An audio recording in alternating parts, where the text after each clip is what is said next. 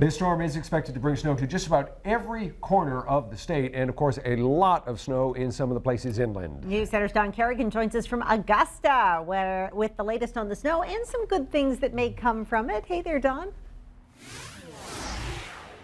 Hey Cindy, we're right beside the famous or infamous Augusta Rotary, the one just down the street from the State House. Traffic is moving. As you can see, we got about two inches of snow. The plows have been working hard, but it is slippery out on these roads. Uh, so this snow is going to be a challenge for drivers tonight and overnight. That said, the snow is also white gold for Mainers who love to play outdoors in the winter, especially for snowmobilers.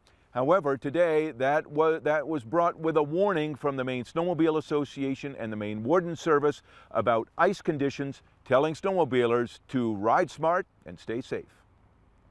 We're very fortunate, I think, to have a, a snowstorm coming tonight. The head of the Maine Snowmobile Association called this the happiest day of the year. The first big snowstorm with a forecast for more than a foot in some places.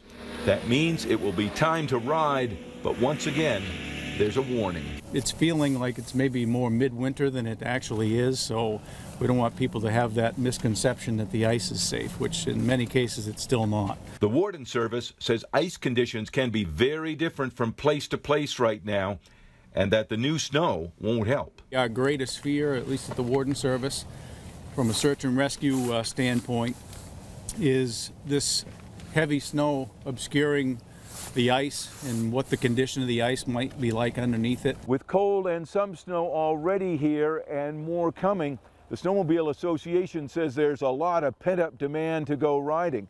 75,000 sleds have been registered so far this year, and they expect many of them will be on the trails this weekend. The association's executive director, Bob Myers, had some more safety advice. Don't drink and ride. Always keep your sled under control and travel at a reasonable speed. Um, be aware of your surroundings. Don't ride alone. And uh, just keep an eye out for everybody while you're out there. Besides taking maps, they're urging snowmobilers to carry an emergency pack with dry socks and gloves, a hat, flashlight, matches, and snacks. And wear a set of these picks in case you do go through the ice. So these things here will save your life. They're picks of life. They're also telling riders to let people know where they're going. And the lesson learned from those three riders who became stranded last weekend.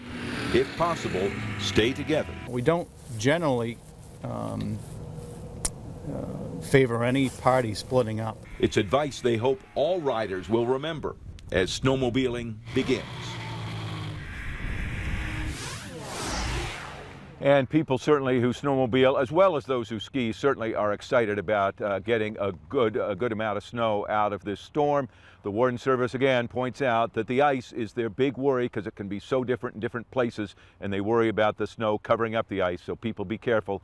Besides that, speed and OUI, as we mentioned, and they reminded us that uh, snowmobilers can be charged with a crime for operating under the influence, can face a fine, and even jail time for doing it, just the same as uh, people driving a car and caught for OUI.